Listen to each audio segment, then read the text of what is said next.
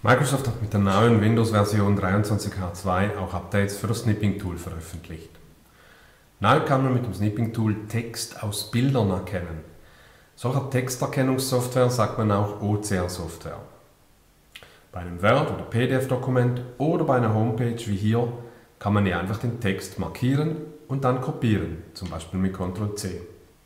So kann er dann auch in Word eingesetzt werden, mit Ctrl-V. Wenn es sich aber um ein Bild handelt, kann man nicht einfach Text markieren und kopieren.